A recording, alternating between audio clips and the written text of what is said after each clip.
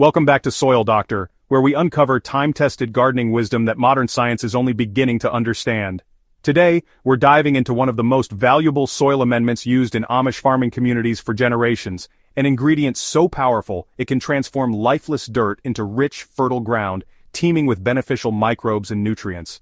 If you're battling with compacted, nutrient-poor soil that refuses to support healthy plant growth, this age-old Amish solution might be exactly what your garden needs. The secret ingredient wood ash.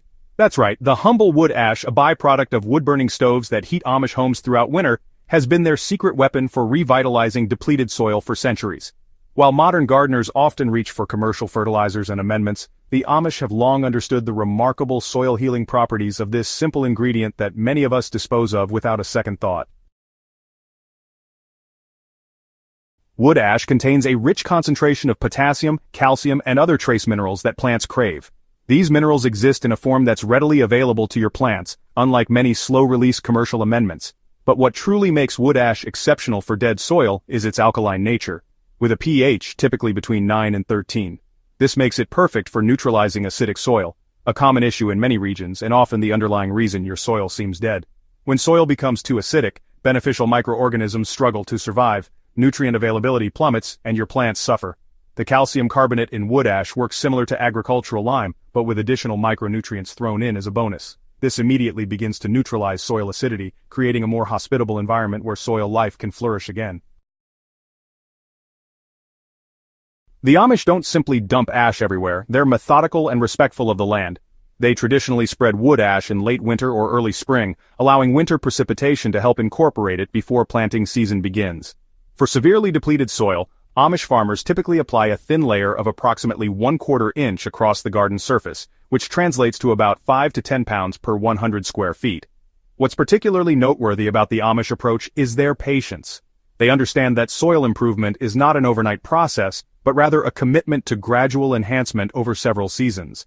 They'll apply modest amounts annually, rather than overwhelming the soil with a massive one-time application, which can disrupt the delicate soil ecosystem.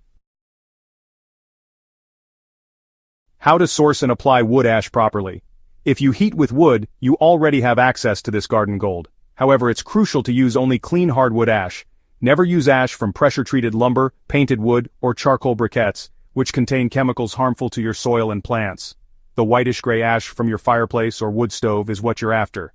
Before applying, let the ash cool completely for at least four days.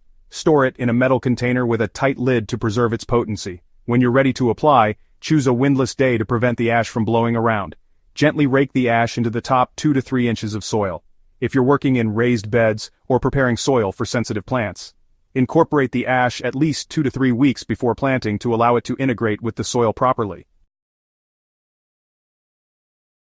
What to expect. Within weeks of application you'll notice your soil becoming more friable and workable. Earthworms and other beneficial organisms will return as the soil pH balances out. Within a growing season plants will show improved vigor, stronger stems, and more vibrant foliage. Vegetables grown in ash-amended soil often develop enhanced flavor profiles, something the Amish have long appreciated in their farm-to-table practices. Remember that wood ash is not appropriate for acid-loving plants like blueberries, rhododendrons, or azaleas. It's best used in vegetable gardens, particularly for crops that prefer slightly alkaline conditions like asparagus, garlic, and brassicas. If you've been searching for an organic, sustainable way to bring your garden soil back to life, this centuries-old Amish practice might be the simple solution you've been looking for. It's readily available, costs nothing if you heat with wood, and delivers remarkable results when used properly. Don't forget to subscribe to Soil Doctor for more traditional gardening wisdom that stands the test of time. Share this video with a friend whose garden could use some revitalization.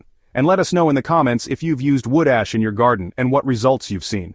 Until next time, happy growing.